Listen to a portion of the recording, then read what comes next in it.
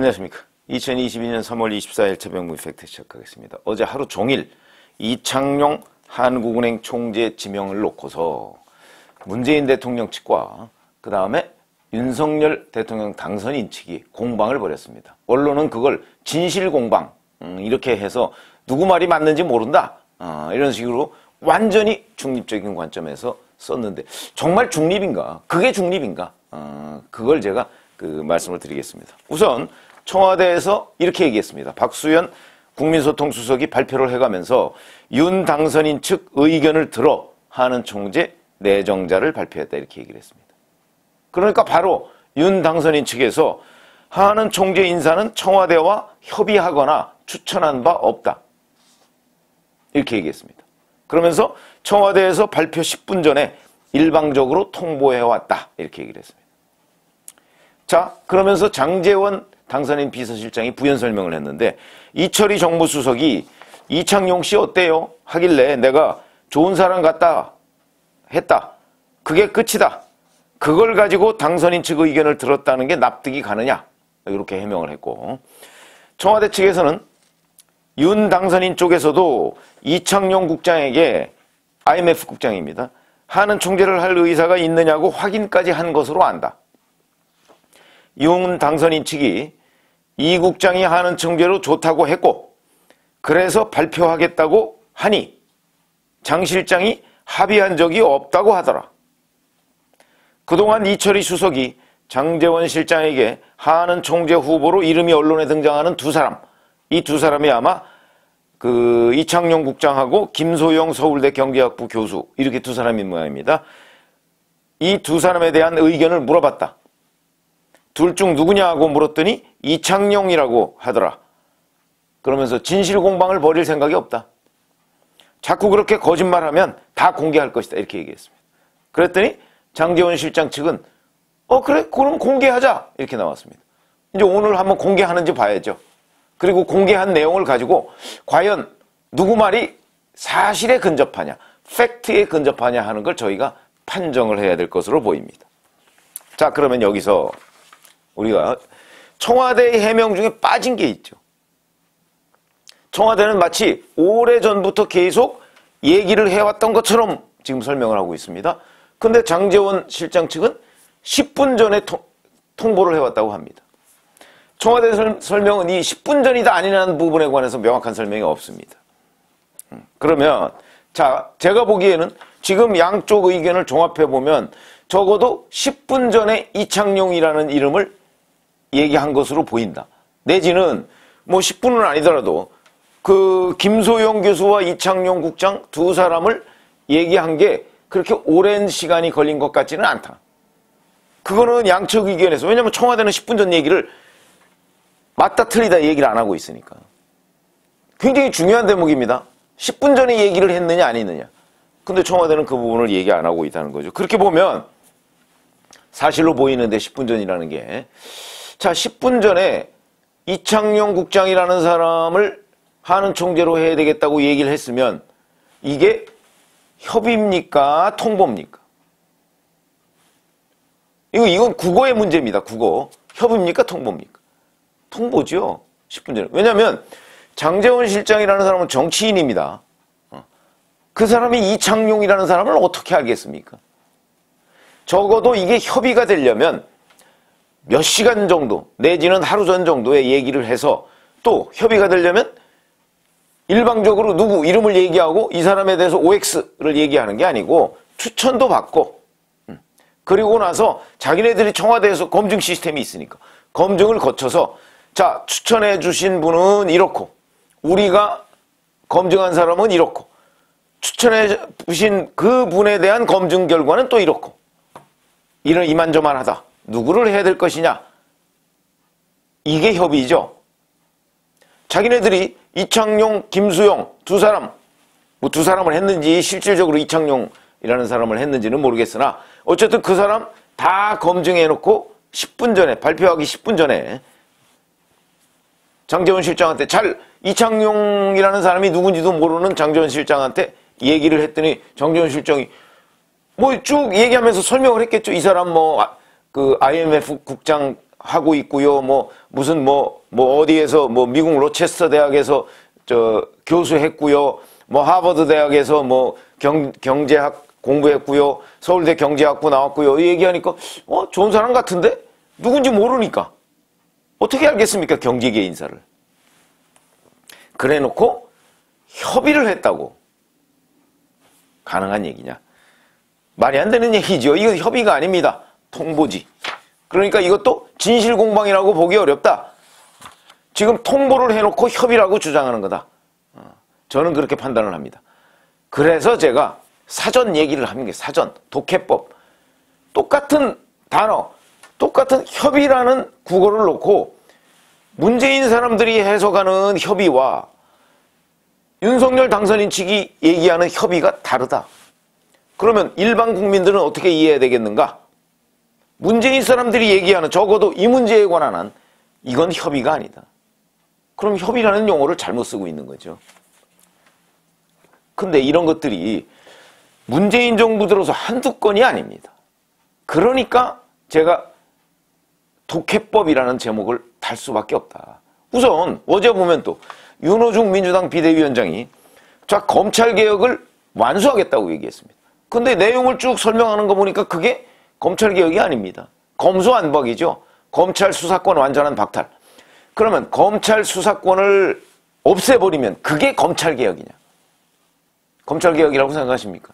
검찰 개혁은 검찰의 권력 남용 이걸 없애는 게 검찰 개혁이죠. 권력 남용. 검찰이 수사하는 것을 없애는 게 검, 검찰 개혁입니까? 이것도 완전히 다릅니다. 문재인 사람들이 얘기하는 검찰개혁과 일반적으로 뭐 예를 들어서 형법학자나 또는 뭐 법률학자가 얘기하는 검찰개혁은 완전히 다른 거다. 근데 이 사람들은 끝까지 임기 말까지 그걸 검찰개혁이라고 주장하고 있습니다. 자, 이 사람들이 검찰개혁의 완결판 내지는 권력기관 개혁의 완결판이라고 얘기하는 것이 바로 공수처입니다. 그래서 공수처, 작년부터 지금 1년 조금 넘었죠. 이제 1년 3개월 정도 됐는데, 공수처가 남긴 게 뭡니까? 결국, 야당 대통령 후보인 윤석열 후보를 시종일관 공격하다가 그 공격 실패로 돌아간 게 공수처가 한 일 중에 전부 아닌가요, 지금? 거기다가 뭐 이, 이것저것 수사를 했는데 그것도 자기네들이 인지수사한 거는 기소한 게 단 한 건에 불과합니다. 그것도 뻔한 거. 그렇게 해놓고서 그게 검찰개혁의 꽃이라고 지금 얘기를 하고 있습니다. 공수처를 왜 만들었을까요? 검찰개혁을 하기 위해서? 저는 그렇게 보지 않습니다. 실력 있는 검찰, 실력 있는 검사가 자꾸 이 비리를 들춰내니까 비리를 들춰내는 건 검사의 본연의 임무입니다. 그걸 빼앗는 게 개혁이 아니고 빼앗는 것은 계약입니다. 우리 사회의 부정부패가 있는데 그 부정부패를 발본색원하는 게 검찰과 경찰의 임무입니다. 근데 그 사람들이 그걸 못하게 하는 것 이건 개혁이 아니라 계약이다. 근데 그걸 문재인 사람들은 개혁이라고 주장한다. 동의하십니까? 자, 그래서 공수처 만들어서 지금. 그런데 이런 거 보시면 압니다. 자, 그러면 공수처가 수사를 제대로 하도록 하면 되는 것 아니냐? 그렇죠. 저도 동의합니다. 그런데 공수처가 수사를 제대로 하도록 문재인 정부 사람들이 지원해 줬느냐? 잘 아시지만 공수처가 검사들을 뽑았습니다.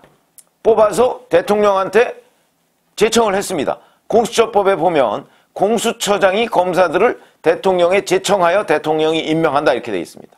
그러면 이게 대통령이 공수처장이 제청한 검사들을 선별할 권한이 있느냐 없느냐 저는 없다고 봅니다. 제청하여 임명한다고 했으니까. 제청에 간섭하면 안 되는 거죠. 왜냐하면 공수처는 입법, 행정, 사법부 어디에도 속하지 않은 독립기관입니다. 그 제청에 관여하는 대통령? 그건 법령 위반이다. 전 그렇게 생각하고. 그런데 기억 안 나시겠지만 공수처가 뽑아놓은 검사 중에 특수통 출신이 있었습니다. 그 사람을 제청을 했는데 대통령이 이 사람은 안 돼. 그래서 임명을 안 했습니다.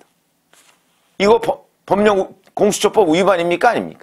물론 그거에 대해서 위반이다 아니다 하는 게 공수처법에 명확하게 없지만 제가 아까 말씀드렸듯이 공수처 검사는 공수처장이 제청하여 대통령이 임명한다. 여기에 대통령이 선별할 권한이 있느냐? 저는 없다고 봅니다. 그걸 권한이 있다고 한다면 그러면 공수처 구성에 대통령이 좌지우지할 수 있는 권한이 있는 건 아마 거의 마찬가지 아닌가요? 그런데 그걸 있다고 해석을 하고 거기에 대해서 김진욱 공수처장이라는 사람은 저 같으면 당연히 그 사람 대통령이 아, 이 사람은 특수통이기 때문에 안 돼. 라고 하는 거 다시 재청할 겁니다. 근데 그렇게 하지 않았습니다. 그것만 봐도 공수처가 검찰개혁이 아니다 하는 걸 우리가 충분히 알 수 있는 대목이죠. 그리고 공수처가 윤석열 후보의 고발사주 의혹을 수사하면 그러면 이재명 후보의 뭐도 하나 수사를 해야 될 거 아니겠습니까? 그래야 공정한 거지요. 근데 그렇게 하지 않았습니다. 그러니까 지금 공수처가 비판을 받는 것이고 이 문재인 사람들이 공수처를 검찰개혁에 꽂힌 것처럼 얘기를 해놨는데 그게 결국은 우리 일반 사람들의 기준과 완전히 다르다. 그러면 공수처는 도대체 뭐냐? 지금도 공수처는 실력 발휘를 못하고 있습니다. 적어도 공수처가 공수처 문을 여는 것과 함께 제대로 된 수사를 하려면 거기에 제대로 된 실력을 갖춘 사람들을 뽑아야 하는데 그렇게 못했습니다. 왜? 대통령이 간섭하기도 하고 그 다음에 공수처장이 무능한 거라고 봐야죠 결국은. 실력 있는 사람을 못 뽑지 않습니까? 공수처는 지금 현행 법률에 따르면 검찰보다 상위 기구입니다. 물론 수사권은 제한돼 있지만 그런 것이고 자, 그 다음에 이 사람들이 얘기하는 검찰개혁 윤호중 비대위원장이 얘기하는 검찰개혁의 핵심은 기소권과 수사권의 분리인 것으로 보입니다. 그렇게 해서 만들어 놓은 공수처 수사권과 기소권 분리해놨습니까? 일정 범죄 빼놓고서는 분리 안 해놨습니다. 그러면 자기네들이 이게 검찰개혁이라면서요. 수사권, 기소권 분리가. 근데 공수처에는 왜 그렇게 안 해놨습니까? 설명을 해야 되는 거죠. 자, 또 하나 사전이 필요한 대목이 있습니다. 최근에 무궁화 대원장 역대 대통령은 다 받았습니다. 그렇죠? 그런데 동아일보인가 채널A인가 거기에서 이번에 문재인 대통령이 무궁화 대원장을 셀프 수여한다 이렇게 보도를 했습니다. 그랬더니 셀프 아니다 이렇게 주장을 했습니다. 이게 셀프일까요 아닐까요? 만약에 문재인 대통령이 퇴임하고 나서 후임 대통령이 국무회의에서 의결을 해서 전임 대통령한테 5년간 수고했다라고 하면서 무궁화 대원장을 주면 셀프 아니죠 당연히. 그런데 문재인 대통령은 물론 역대 대통령들도 뭐 일정 시점 이후에 그렇게 했다고는 합니다만 국무회의 의결을 거쳐야 됩니다. 무궁화 대원장은 국무회의 의장은 대통령입니다. 그러니까 문재인 대통령이 국무회의에서 자기한테 무궁화 대원장을 주는 것을 의결하고 자기가 받아갑니다. 자기하고 자, 저 부인이 이게 셀프가 아니면 뭐죠? 이, 이게 뭐 이게 셀프가 아니라는 겁니다 지금. 그러니까 사전이 필요합니다. 이 사람들이 얘기하는 셀프라는 개념은 도대체 뭔가? 내가 의결해서 나한테 달아주어도 셀프가 아니다. 이게 문제인 사람들의 생각이죠. 뿐만 아니고 수사지휘권 뭐 유지냐 철폐냐 뭐 윤석열 당선인이 법무부 장관의 수사지휘권을 폐지하겠다고 얘기를 했습니다. 자 그러면 박봉계 법무부 장관은 이거에 대해서 반대하면서 이거는 검찰총장 견제용이라고 얘기를 했습니다. 자 작년 재작년에 추미애 법무부 장관이 남발했던 수사지휘권 그리고 작년에 박범계 법무부 장관이 얘기, 저, 했던 수사지휘권 그게 검찰총장 견제용이었습니까? 검찰총장 압박용이었습니까? 이런 식의 압박용으로 남발하는 수사지휘권 필요 없다. 이게 일반적인 국민들 생각이라고 저는 보는데 이 사람들이 얘기하는 수사지휘권은 또 완전히 다른 개념이다. 똑같은 수사지휘권인데 왜 이렇게 문재인 사람들은 달리 생각을 하는가 하는 부분도 궁금해지는 대목이고 추미애 법무부 장관 시절에 자 본인이 검찰총장하고 검찰청법에 보면 인사 협의를 해서 대통령한테 제청하도록 돼 있습니다. 그런데 명단도 안 주고 관행과 다르게 법무부 장관실로 와라 이렇게 얘기했습니다. 검찰총장이 안 갔습니다. 왜? 그동안 관행은 제3의 장소에서 같이 명단을 놓고서 얘기를 하고 물론 다 들어줘야 되는 건 아닙니다. 검찰총장의 의견을 다 들어줘야 되는 건 아니죠. 그러나 검찰총장의 의견을 반영하여 대통령한테 제청하는 거. 왜 그러냐? 법무부 장관은 장관이죠. 검찰총장은 장관급입니다. 장관과 장관급이 뭐 그렇게 차이가 있습니까? 오히려 실질적인 힘은 검찰총장이 셉니다. 그런데 문, 추미애 법무부 장관이라는 사람은 그걸 놓고 국회에서 이게 왜 검찰총장 패싱이냐? 검찰총장이 장관의 명을 거역한 거다 이렇게 얘기했습니다. 그러니까 나중에 윤석열 검찰총장이 검찰총장은 장관의 부하가 아니다 이렇게 얘기했습니다. 누구 말이 맞는 거죠? 장관과 장관급, 장관이 장관급한테 이렇게 해주세요 그랬는데 장관급이 거절했습니다. 그러면 이게 명을 거역한 겁니까? 아니면 협의 요청을 거절한 겁니까? 이렇게 개념이 다릅니다. 장관과 장관급 사이의 관계에 대해서 이렇게 다르다. 적폐 수사, 적폐 청산 이것도 최근에 논란이 된 적이 있었죠. 뭐 적폐 수사를 해야 해야 하느냐라고 중앙일보 기자가 물으니까 윤석열 후보 측이 후보가 직접 해야죠. 해야죠. 돼야지요. 시스템에 의해서 돼야지요. 그러나 대통령이 되면 나는 관여하지 않겠다. 이렇게 얘기했습니다. 그랬더니 이걸 가지고 또 정치 보복을 하겠다고 한다. 뭐 막 이렇게 얼마나 많이 떠들어댔습니까? 그게 정치 보복으로 보입니까? 그러면 윤석열 서울중앙지검장이 적폐수사, 이른바 적폐수사를 할 때 청와대에서 기억나실 겁니다. 민정수석실, 그 다음에 정무수석실 뒤져서, 캐비닛 뒤져서 거기서 자료 이만큼 갖다 놓고 그때 박수현 대변인, 지금 국민소통수석이 대변인 때입니다. 대변인이 기자들 앞에서 발표를 해가면서 우리가 청와대에서 이런 문건을 지금 확보를 했다. 이거 검찰에 넘겨서 수사하도록 하겠다 얘기했습니다. 그런데 조국 사건 윤석열 검찰총장이 수사할 때 조국을 탈탈 털어서라고 얘기했습니다. 누가 한 행위가 탈탈 털은 거죠? 청와대 캐비닛을 뒤져서 거기 있는 거 가지고 검찰에다 넘겨서 이거 수사 자료로 써라 하는 게 탈탈 털은 건가요? 아니면 검찰이 수사의 일환으로 압수수색 영장을 법원으로부터 발부받아서 그걸 가지고 수사해서 기소한 게 탈탈 털은 건가요? 이렇게 개념이 다르다. 또 검언유착 의혹 얼마나 시끄러웠습니까?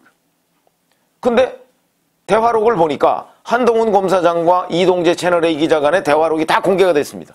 보니까 거기에 검언 유착 의혹은 없었습니다. 오히려 MBC한테 이걸 보도하도록 한 권언 유착 의혹만 있었습니다. 아직도 그 사람들 이걸 검언 유착이라고 주장하고 있습니다. 자, 제가 뭐 몇 가지 정도 예를 들었지만 지난 5년간 이런 것들이 얼마나 많습니까? 그럼 이런 것들을 어떻게 이해해야 되겠냐? 사전을 하나 만들어도 지금 모자랄 지경이다. 이걸 이해하는 이걸 관통하는 키워드는 딱 하나. 내로남불이죠. 내로남불입니다. 내가 하는 거는 협의고 남이 하는 거는 통보고 그렇기 때문에 어제 하루 종일 이창용 한국은행 총재 지명 문제를 둘러싸고 이런 논란이 생기는 것 아닌가. 이 논란이라는 게 결국 그동안의 이 문재인 사람들의 내로남불식 해석 또는 내로남불식 국정 운영 그거의 결정판이다. 저는 이렇게 생각을 하는데 마지막 순간까지 음, 내로남불로 끝내려고 하는가 하는 안타까움이 들면서 이렇게 되면요. 결국 문재인 대통령 이제 47일 남았습니다. 47일 되면 문재인 대통령은 야인이 됩니다. 그때도 문재인 대통령이 여기저기에 뭐 본인과 관련한 여러 가지 해명을 하면서 또다시 이런 사전이 필요할 정도의 주장을 할 수 있을 것인가 과연 참 안타깝다. 그래서 지금부터라도 정말 국민의 눈높이를 맞춰서 정치를 하거나 대응을 하거나 협의를 해야지 이렇게 자기네들 세계 동떨어져서 얘기하는 것 있으면 결국 이 사회에서 외로워진다 저는 이렇게 생각을 하는데 그래서 오늘은 문재인 사람들의 독해법. 그건 제가 아무리 생각해도 이거는 결국 내로남불 외에는 없는데 이런 자세를 버리지 않는 한 문재인 대통령 정부가 지나고 나서는 정말 외로워질 수밖에 없을 것이다. 그리고 이렇게 해가지고 사람들과 소통할 수 있겠습니까? 제가 걱정할 일은 아니지만 객관적으로 보면 적어도 우리나라의 대통령과 우리나라의 각종 정치 지도자를 했다는 사람들이 이런 식의 관점과 시각을 가지고 어떻게 일반 국민과 소통을 하겠다고 나설 수 있을까? 어, 그런 걸 제가 말씀을 드렸습니다. 고맙습니다.